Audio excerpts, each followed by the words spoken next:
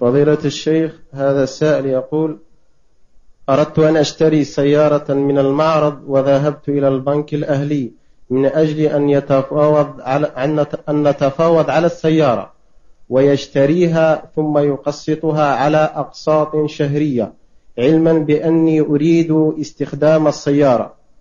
أرجو من الله ثم منكم توضيح هذا الحكم. لا يجوز أنك تذهب لا إلى البنك ولا إلى غيره إلا من عنده السلعة من عنده السلعة السيارة أو البيت أو الأرض أو السلعة التي تريدها إذا كانت في ملكه وفي حوزته.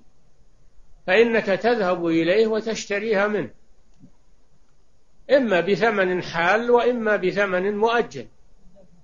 أما أنك تذهب إلى البنك أو إلى غير البنك وهو ما عنده شيء وتتفاوض معه وتوقع على الأوراق ثم يروح ويشري لك بعد ما تحصل الاتفاقية هذا باطل.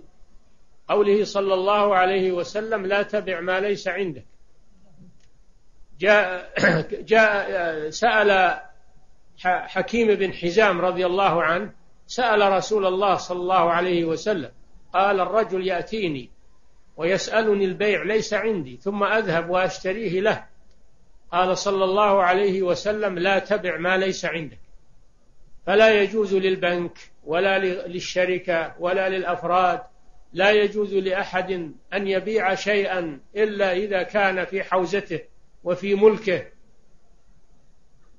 فإذا كان في ملكه وحوزته جاز أن يبيع. أما أنه يربط الزباين وهو ما عنده شيء ثم يروح يشري لهم هذا بيع باطل ولا يجوز.